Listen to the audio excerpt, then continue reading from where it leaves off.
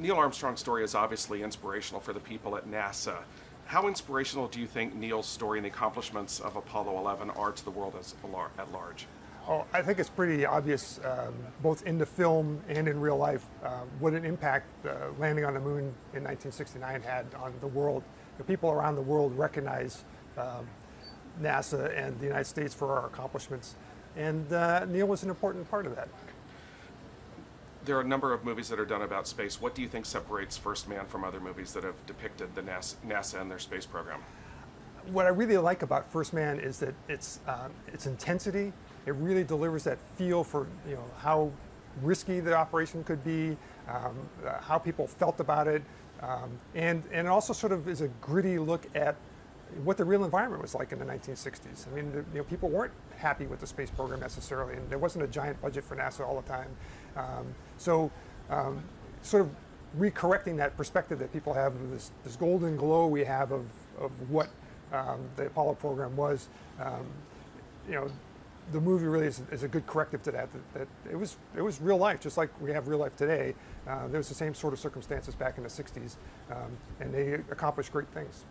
Do you think other movies have over romanticized space oh, travel? Yeah, I, I, I, think for the last 50 years, as we've been thinking about Apollo, there's been sort of this narrative, as historians like to say, uh, there's this narrative of um, you know, this, this uh, one success after the other. We didn't put a foot wrong except occasionally.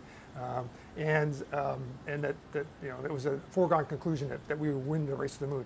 It was all a lot closer than all that, and uh, it's useful for us to remember uh, in, in these days as we're preparing to go back to the moon and on to Mars.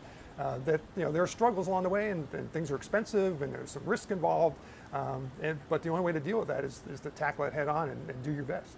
How much is loss an important factor in the progress of the space program? Well, sadly, uh, it, it's a reality of life.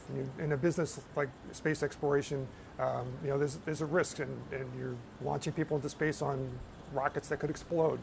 It's, um, it's not easy, um, and, uh, and sadly, loss comes with that. We do our very best to avoid that, um, but um, you know, there are losses in one way or the other. Either, either you lose people or people spend a lot of time making sure we don't lose people and, and their personal lives are often paid a price. So um, it's, it's, a, it's a tough business, but uh, well worth the, the investment and effort.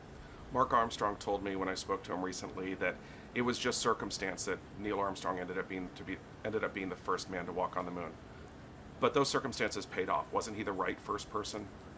Um, I, have heard other astronauts say that, that too. That, that, Neil was the right guy to, to be the first one. His humility, uh, his uh, understanding that, that he just happened to be the the one of the 400,000 people who worked on that program who got to be the first one to walk on the moon.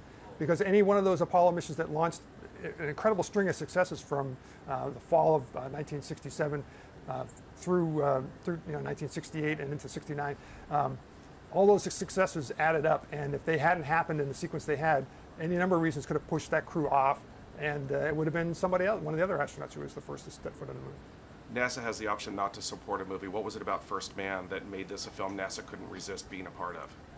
Um, I think the seriousness with which the production team, you know, Damien Chazelle and, uh, and Josh Singer, the scriptwriter, uh, they were both, uh, and, and, the whole production team surrounding them, they were all very intent on getting the story uh, exactly right and to tell a good story, but also um, to do it in a way that, uh, that delivered the message.